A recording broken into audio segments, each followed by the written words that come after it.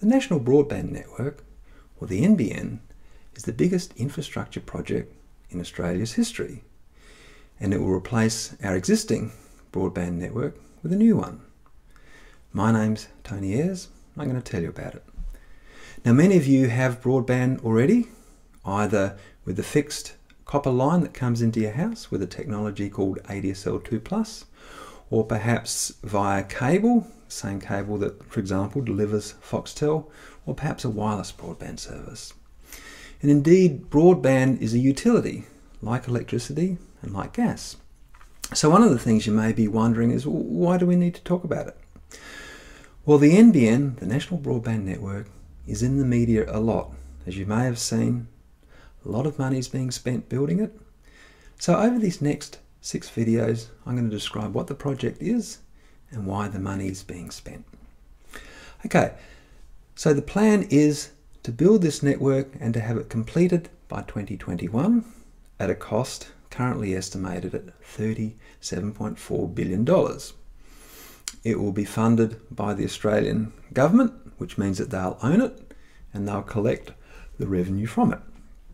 And the NBN is in fact two projects, if you like.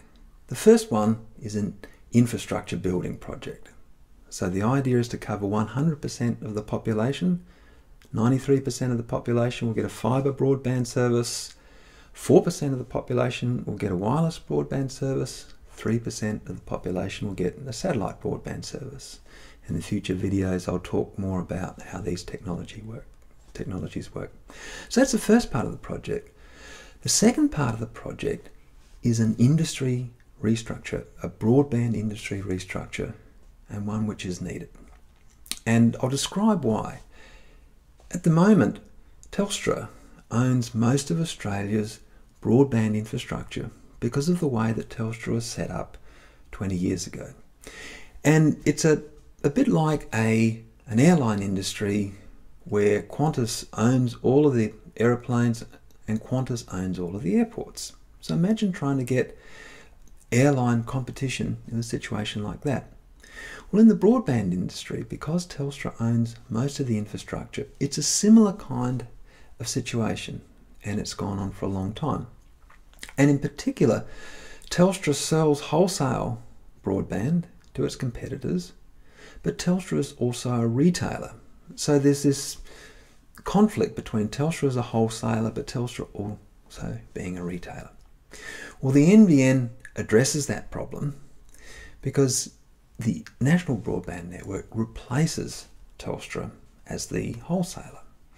So the NBN will build this new network. It will replace, in particular, most of the Telstra copper line network. And then this new company, NBN Co., will sell wholesale broadband services to Telstra, Optus, iiNet, the other companies that sell broadband and that we deal with, and we'll then buy retail broadband from the companies that we've always bought retail broadband from.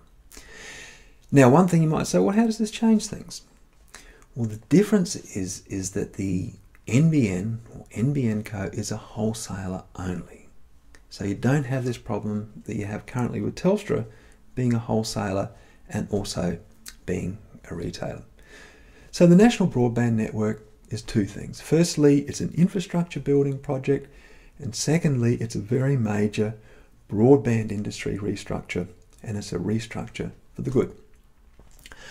Okay, so for us as consumers, what we care about is well, how much is it going to cost us? What, what's, what's going to happen to our monthly broadband fee? How's that going to change?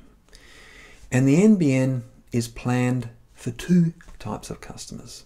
The first type is people who perhaps only have a fixed line telephone service or people who perhaps um, use minimal internet. Perhaps they just send emails every now and then, do a little bit of browsing.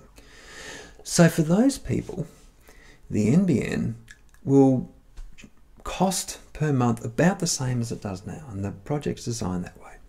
And incidentally, the NBN, because it replaces the Telstra copper line network, which we get our fixed telephone services over at the moment, the NBN will also provide a new fixed line telephone service. So you just plug your existing telephone into the NBN box when it comes to your house and your telephone works as before. So for current customers who use either just a telephone or the telephone and a small amount of internet, prices will remain the same. Okay? But the NBN isn't built for that purpose. The NBN is built to provide far more capacity so that people use can use services which are much higher speed. Myself, for example, I'll be a customer. And so for those people, the monthly service may cost a little bit more, but it'll provide a lot more.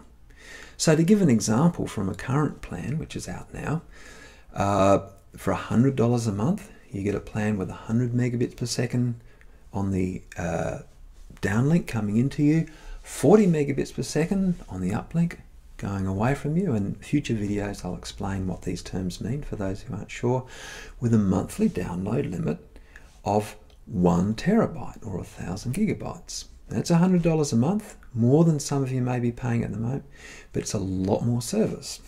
Okay, so the NBN is designed for two markets. Firstly, people who use just minimal internet or fixed line services only, and people who want to use a lot more. And the NBN provides the capacity for, the, for those people. Okay, so we've talked a little bit about the NBN project.